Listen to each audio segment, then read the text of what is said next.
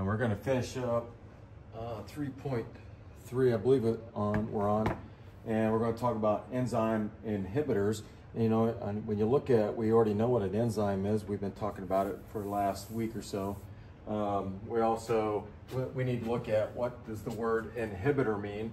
In this case, you know, an inhibitor is something that stops. So, like if a door is closing and you stop it, you're in, inhibiting the door from uh, stopping. You know, we we've seen pictures like this. Here's your enzyme, and it's showing the reaction with the substrate and how it goes through the uh, chemical reaction, breaks up into products. Uh, I want to point to the word ligand. Now, I've, I've held off, not giving you too many big words at once, but I want you to think of a ligand uh, as a substrate, that, and that's what it is. All substrates are classified as ligands. that's how you say the name. So all substrates, no matter what, are considered ligands. It's like uh, all all cars are vehicles or motor vehicles. You could say it in that sense. But a ligand, and I'm not going to write it down, a, a ligand is just uh, one molecule that's able to fit and combine with another molecule at, a, at an attachment site to cause a reaction. And so when you uh, hear ligand, don't let it fool you. It's just talking about a substrate.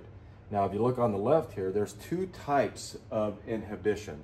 One is competitive inhibition and one is non-competitive.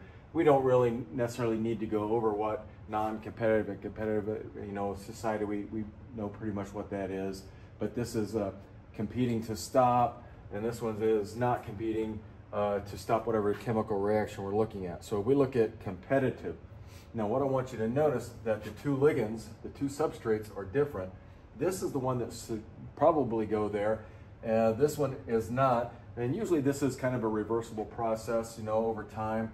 But you'll notice that it has that same shape and both are able to fit into this active site of this particular enzyme.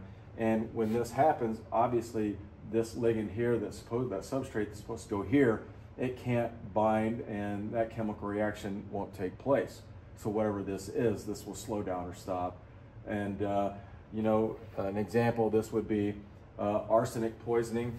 Arsenic uh, will will basically fit in uh, to the active site of this pyruvate dehydrogenase. And all, basically all this does now, both of them that we're going to talk about, both of these enzymes help our bodies make ATP for energy. So if this takes place, then this pyruvate dehydrogenase then becomes inactive, and so ATP formation stops. And if it stops for any length of time or altogether, it's death.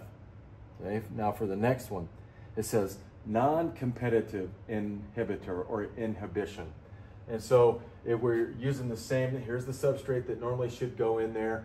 And uh, this thing here is what we're going to be talking about. This is the non-competitive inhibitor. Some enzymes have extra sites on the attachment or uh, on their outsides where other things can fit in. And you got to remember, protein, uh, if you change their shape, they lose their function as well.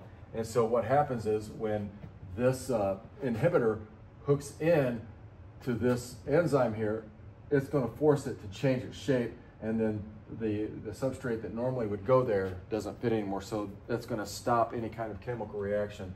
That is. Now, what I want you to know, uh, this site right here where that inhibitor uh, attaches, that's called an allosteric site. Allosteric. Allo means different, basically a different site. So allosteric uh, site right there. Um, and I didn't know this till a few years ago, but ATP, while our bodies go out of it, like that's the whole purpose of eating food, and this is the end product of our energy creation. Sometimes, if there's too much ATP, it will itself, the molecule itself, will become a non-competitive in, inhibitor. You know, non-competitive, you think they're not competing for the same site like we saw here.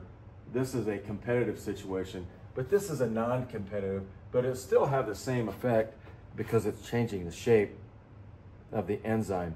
And so what ATP does, ATP will fit in the allosteric site of phosphofructokinase, and that happens, and this is another enzyme that helps us make ATP, it will slow the AP, ATP function or creation down until it's down to a level that that will stop its binding